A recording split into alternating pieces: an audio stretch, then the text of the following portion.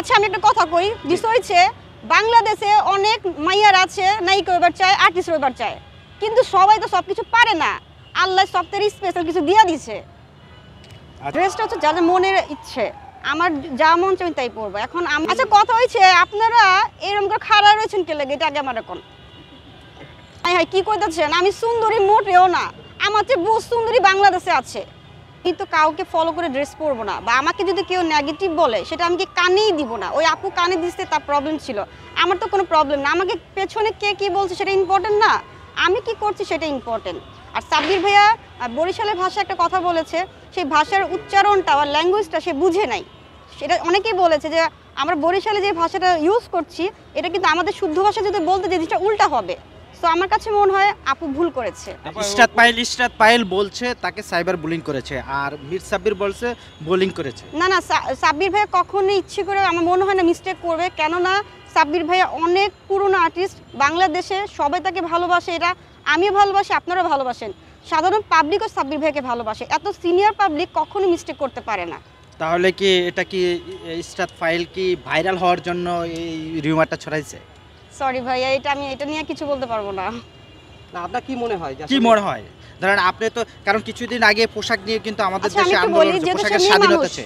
সে যেহেতু মেয়ে মানুষ তার আচ্ছা। ইগোতে লেগেছে যে আমাকে কেন এই ধরনের কথাটা বলল এবং পাবলিক প্লেসে আমাকে যদি সে আড়ালে বলতো সেটা আমি মেনে নিতাম। বাট সে যেহেতু পাবলিক প্লেসে বলেছে তো আমি এটা মেনে নিব না। বাট আমাকে যদি স্ট্রেটলি বলে তুমি এভাবে কেন এসেছ?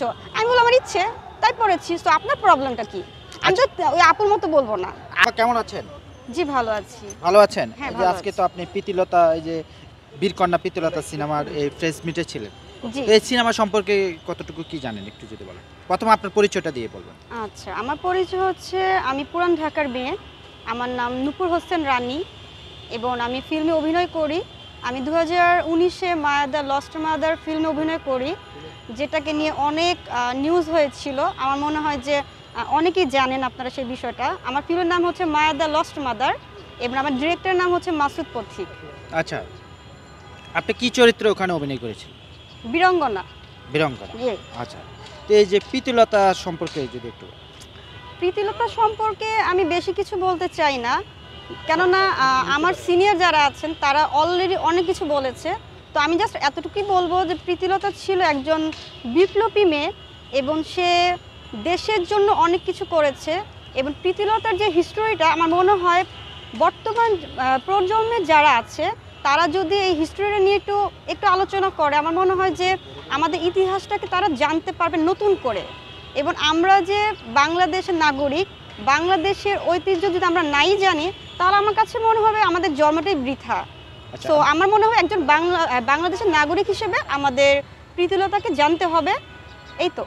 আপনার ব্যস্ততা বর্তমান ব্যস্ততা কি নিয়ে? বর্তমান ব্যস্ততা আপাতত কিছু নেই।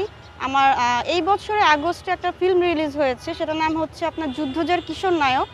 এটা ডিরেক্টর হচ্ছে শায়লার রহমান তিথি আপু।